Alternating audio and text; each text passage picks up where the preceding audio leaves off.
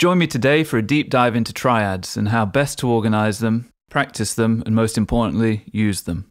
Major, minor, diminished, and augmented will immediately apply them all to a handful of different progressions. From dark, deep, and ambient Americana style triads on the bottom string set to choppy, soulful Hendrix style riffs over Hey Joe. It's crucial to put these things to work right out of the gate if you really want them to stick. And with these exercises and my exhaustive lesson materials, you'll have a lifelong reference guide to revisit time and time again. So, whether you're looking to improve your ability to play over chord changes or just need to brush up on your fretboard fluency, this is the lesson for you. So, grab your guitar, make yourself comfortable, and join me for the next 20 minutes or so. So first of all, we're going to map out all of our triads across all of our string sets, and I'm going to show you some really good ways to organize these. Once that's sorted, we're going to look at applying them to some exercises, both lead-based and chord-based. Hopefully this will be a good way of really getting to know where these points are and getting you on your way to improvising over some changes. So we'll start off on string set 1 with the C major triad in root position. First, third, fifth. Now we're going to invert that triad along the same string set and we're going to get this third, fifth, root. Then we invert it again and we get the fifth, the root, and the third. Okay, now let's go back to the first shape again. And now to find our next string set, we can simply think about moving the top note down an octave. So this G note is going to come down from the third fret of the top E string down to the fifth fret of the D string. And now you've got these three notes. That's the fifth, the root, and the third. Now we're going to invert that along the same string set. Root, third, fifth. And then invert it again. Third, fifth, root. Again, let's return back to where we started there. And we're going to move that top note down one octave to the seventh fret of the A string. So this would be string set number three. Third, fifth, root. Invert that. Fifth. Invert it again. Root, third, fifth Let's go back to where we started. And again, take the top note down one octave onto the eighth fret of the low E string to get our final string set. Root, third, fifth, invert that, third, fifth, root, invert that, fifth, root, third. The materials that accompany this one are truly vast, not only containing my triad survival guide, but also every single example and progression neatly typed up in tab and notation in Guitar Pro and PDF formats. I've also included my backing track for the low triads Americana style exercise, so this is truly a lifetime's worth of reference materials for no more than the cost of a cup of coffee. Check the links in the description if you want to get hold of it all. Now, before we take that any further, let me show you some exercises that you can apply to this and anything that you learn that really helps to get these things drilled and in the muscle memory and under the fingers comfortably. I'm going to set the metronome to 60 beats per minute, and I'm going to run up and down these triads on their string sets as if it's a scale. And I'm going to try and change on every beat. One, two, three, four.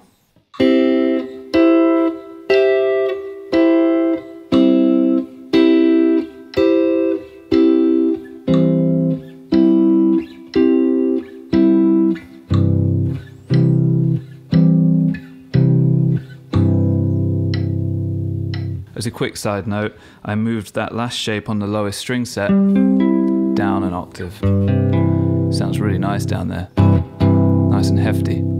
Okay, so that's one method of organization, putting them in horizontal linear lines along their string sets. But something that I think is really valuable is something that I refer to as stacks.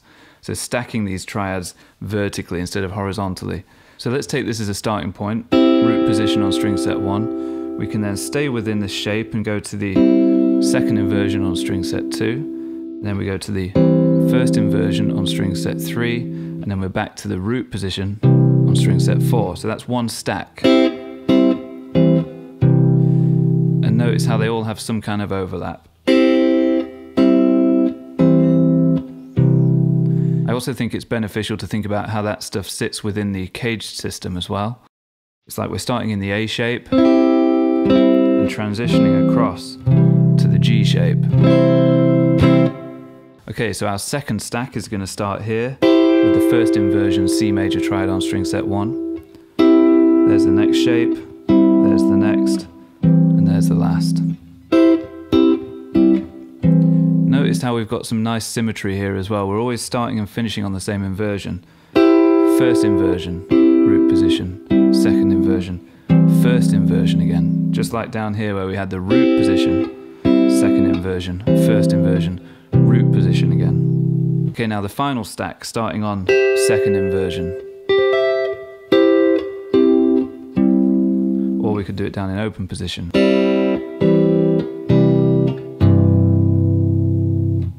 Now, those are just our major triads, of course, and there are four types of triads. You have major, minor, diminished, and augmented. But now think about how much more simple it becomes to find those if you know where your major triads are as a starting point. If you know it really thoroughly, you'll know where all your roots, your thirds, and your fifths are, and it's quite easy to adapt something, for example, flattening a third to make it a minor triad each time.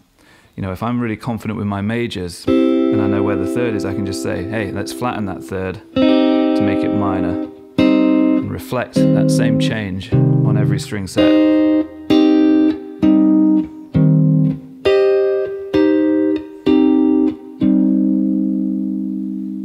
The diminished? That would be similar to the minor, the root, the flat three, but a flattened fifth also. So we're taking the minor and adapting it, flattening the five. Take the minor and adapt it, flatten the five. Take the minor and adapt it, flatten the five take the minor and adapt it, flatten the five. Do that in all of your positions. Again, minor, find the fifth and flatten it. Minor, find the fifth and flatten it. Minor, find the fifth and flatten it. Minor, find the fifth and flatten it. Final stack, again starting on a minor, thinking where's the fifth? It's on the G string this time, so that's the string we flatten to make it diminished. Minor becomes diminished minor becomes diminished, minor becomes diminished. You can use a similar thing to find your augmented triads. Take a major as your starting point. A major is 1 3 5, of course. Augmented is 1 3 sharp 5. So as long as you know where your 5 is, very easy to adapt that. And then again, reflect that throughout the rest of your stack. Do it in your other two positions as well.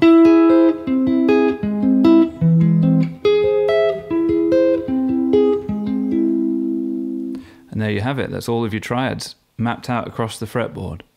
Run all of those through the exercise that I mentioned, you know, metronome at 60 BPM, changing on every beat of the bar.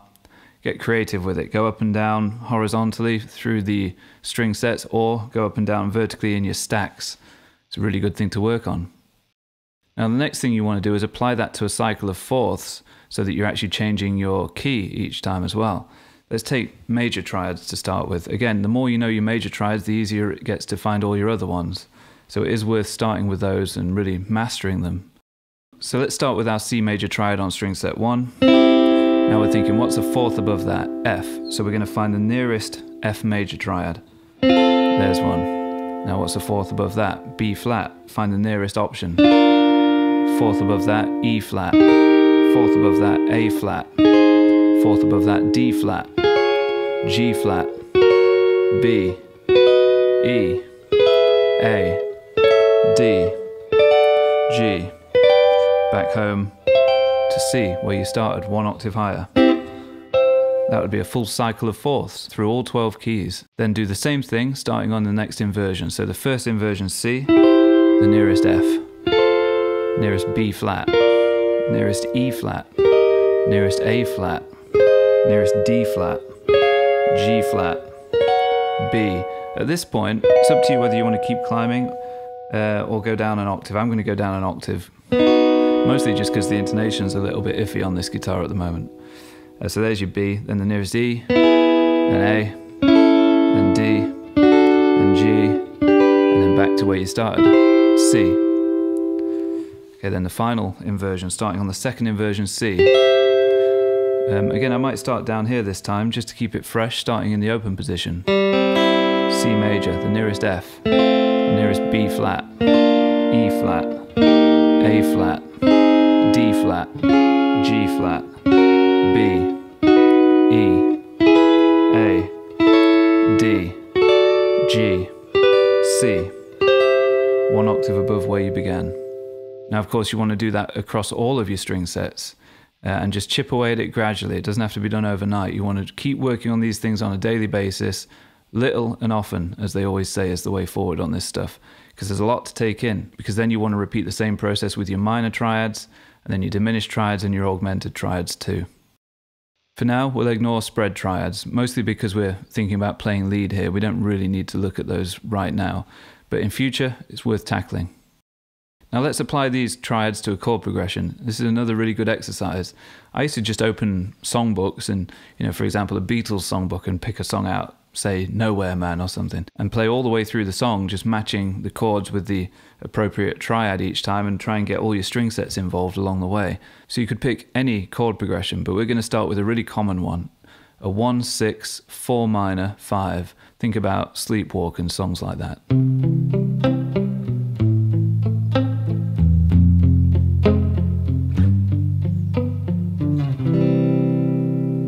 So the best course of action here is to have the progression written out clearly in front of you.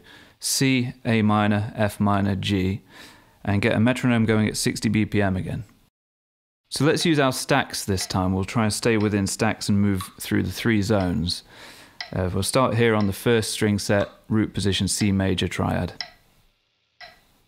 Nearest A minor, nearest F minor, nearest G. Next C major shape. A minor.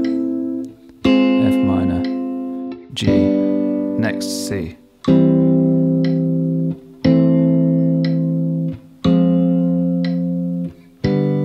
the bottom strings.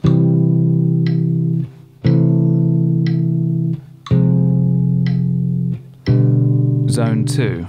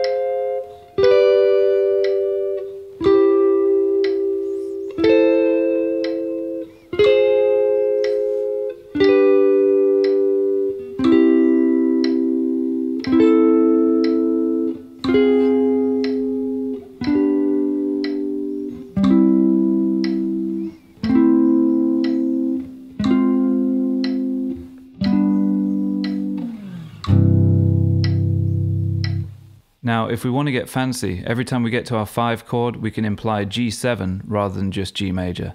And we can do that by grabbing a diminished triad off the third, the fifth, or the flat 7. So that would be a B diminished, a D diminished, or an F diminished, which, if you know your diminished, you'll realize they're all the same thing anyway. Okay, here's an example of that 60 BPM. One, two, three, four.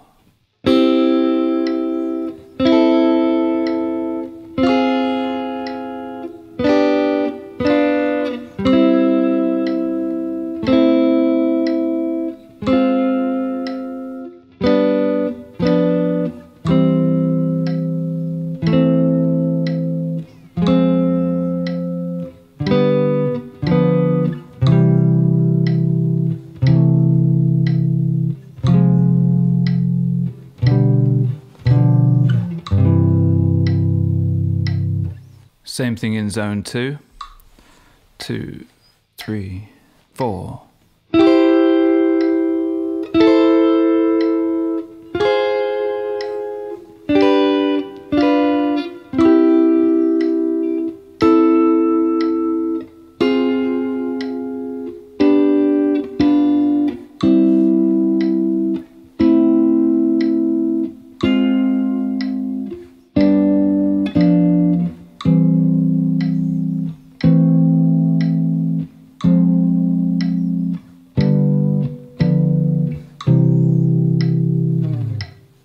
Then finally, zone three.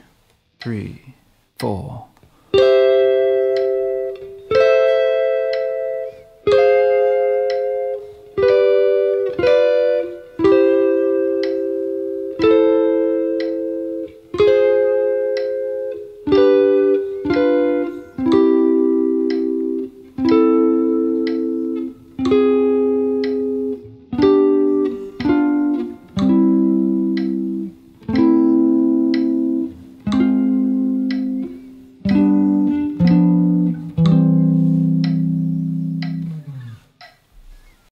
So that exercise included three of our four types of triads. The only thing we're missing there is the augmented.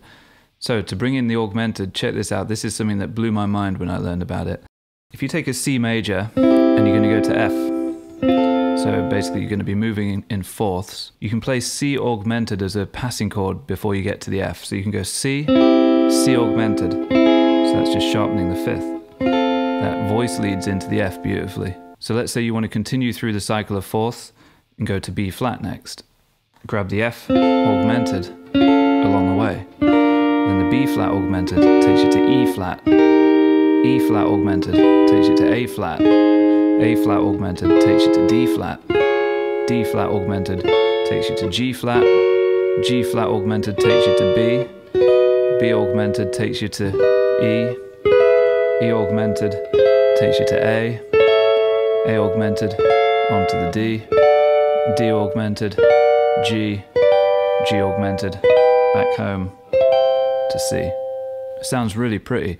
Now, again, practice that on all of your string sets. Now, a really good progression to work on that incorporates all four types of triads would be something like a simple country blues in the key of C. So we can go C, C augmented, taking you to the F, F minor, bringing you back home to the 1, then the G, G7, C. The G7, again, we're using that B diminished triad. Let's try that in the next position. C, C augmented, F, F minor, C, G, G7, C. Again, rinse and repeat through all of your other positions and your string sets. Now, another study that I've put together for you to work on is what I'm calling low triads Americana style. This is quite a simple progression, but again, it can sound really beautiful with the help of some low string set triads. These things are brilliant for rhythm playing and for lead, but really useful as a rhythm player. I find myself using these things maybe 70% of the time when I'm playing live, if I'm not soloing at least. So let's outline this common progression in the key of C. We'll go from the 1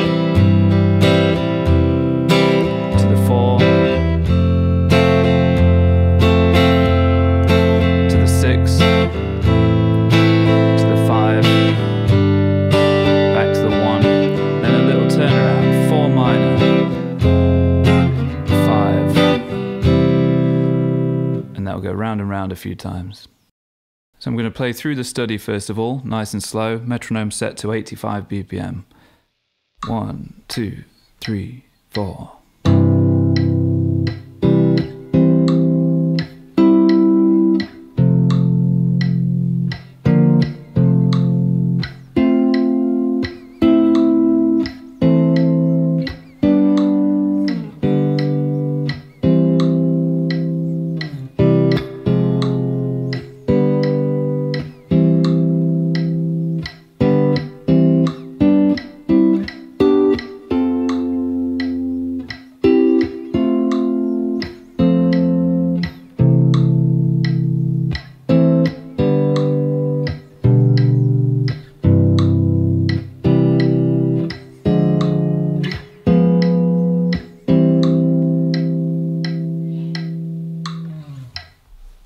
For that one, I'm also including a backing track for you.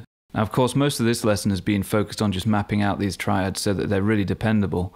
But let's just finish on a little bit of a teaser for what's to come. Now, let's think about making a simple phrase out of some of these ingredients. So, we're going to start on a C major chord, and we're thinking about our root position triad on string set one. We're going to isolate the top two strings, and we're going to play them together as a double stop, but we're also going to hammer on from a whole tone below on the B string. Now, although we've added a new note there, that's what you call a neighboring tone. That's a note that would be in the parent scale of the triad. So in this case, that's a D note, and that would be part of your C major scale. And then we're going to come down and land on the root. Really important and common piece of vocabulary for any guitar player in any style. Now let's say the chord goes to G next. One option, of course, is just to carry that whole lick up to the 10th fret where it's now part of your G major triad. But there is another option. We can stay down here and reuse this because these two notes on top are common to the G major triad as well. This time, this is one of our neighbouring tones, this E note. And the C note is like a sus4 if we're thinking G major with a sus4. We can then resolve that to the third of G. So again, we're landing on this outline of a G major triad in first inversion. So now you've got something like this. Three, four.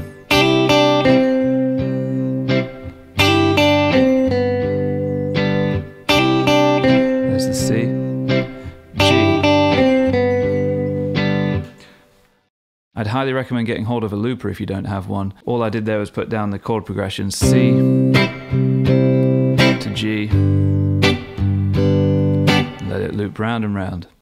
Now I'm going to take that same idea and move it to the other string sets.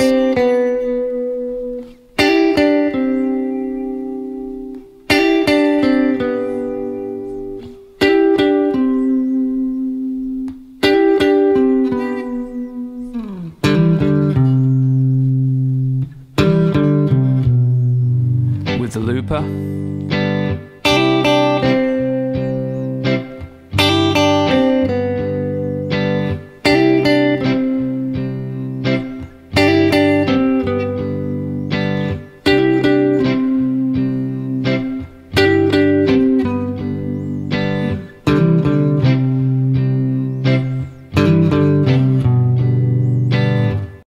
Now let's break that into fragments and apply it to a different chord progression. Let's try the progression for Hey Joe by Jimi Hendrix. C, G, up a whole tone, D,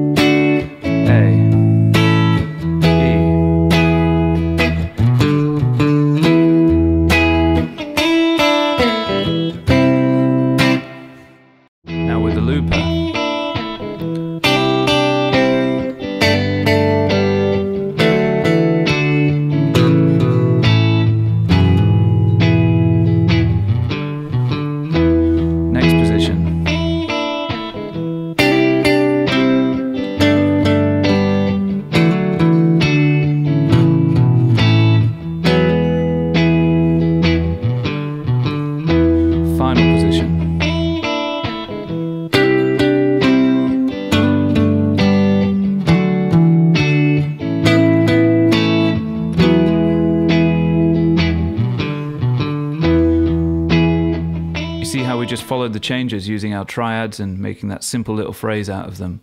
Sounded awesome, right? That's such an important part of your rhythm playing, never mind your lead playing, having those little chops and fills between chords. I think we managed to squeeze quite a lot in there. I hope it's not too overwhelming. Let me know if you have any questions and I'll get right back to you. Take care.